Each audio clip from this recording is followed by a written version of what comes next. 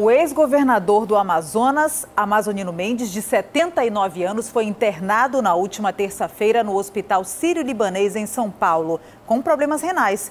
O hospital ainda não divulgou o estado de saúde do ex-governador, mas a assessoria informou que ele passa bem. Amazonino tem diabetes e é hipertenso, vem enfrentando problemas de saúde há algum tempo. Chegou inclusive a desistir da disputa da eleição para prefeito de Manaus em 2012 e perdeu a disputa ao governo do estado para Wilson Lima no pleito do ano passado.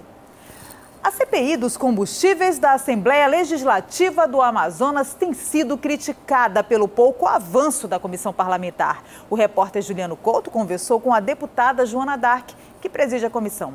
Juliano. É isso mesmo, a gente está aqui na Assembleia Legislativa do Estado do Amazonas, onde nesse exato momento está acontecendo uma audiência pública, o plenário está lotado. A gente vai tentar falar com a equipe da deputada Joana Dark, onde ela está sendo criticada devido ao andamento da CPI dos combustíveis. A gente tem a possibilidade de um cartel acontecendo na cidade, esse é um levantamento que a deputada está fazendo, e a gente vai tentar saber dela em que petar a CPI, se realmente pode acabar em pizza, se está em andamento, quais são os próximos próximos passos. A gente vai tentar conversar com a deputada para saber como é que está aí a audiência, como é que está a CPI dos combustíveis. A CPI tem objetos, são três objetos, identificar como se compõe o valor do combustível, se identificar por que, que existe uma diferença muito grande entre a capital e o interior e identificar a possível existência de cartel. A gente tem que dar respostas a isso, nós estamos dando todos os nossos esforços, atuando, não é porque não está sendo sempre divulgado, que a gente não está trabalhando e a gente está se respaldando em questões técnicas. Daí as informações da deputada Joana Dark. Na próxima semana, algumas pessoas serão ouvidas aqui mesmo no plenário durante o andamento da CPI para a gente tentar receber as informações de que existe ou não um cartel acontecendo nos postos de combustíveis da cidade de Manaus.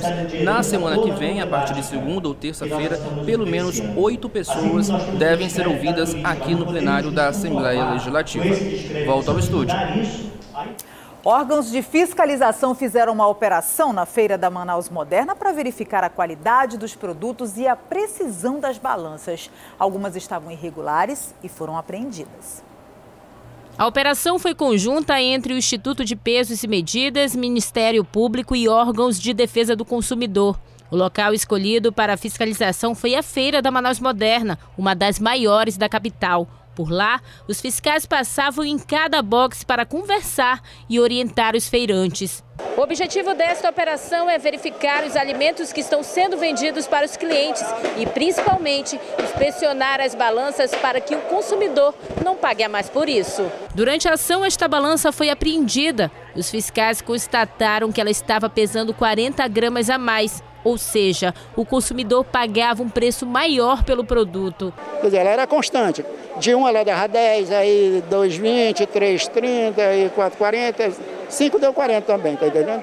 Então foi por isso que a balança foi apreendida. Minutos depois, mais uma balança foi apreendida. Ela era utilizada de forma irregular e ainda possuía o selo do Imetro falso. As fiscalizações em comércios e feiras estão sendo intensificadas em Manaus, com o objetivo de diminuir as irregularidades. Então a gente está vendo várias situações aqui. Até a parte estrutural mesmo, o Corpo de Bombeiros está verificando.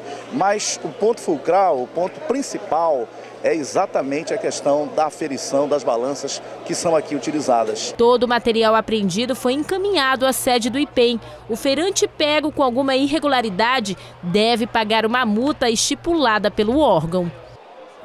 No próximo bloco, moradores da zona oeste de Parintins constroem pontes improvisadas por causa das ruas alagadas pela enchente. A gente volta já.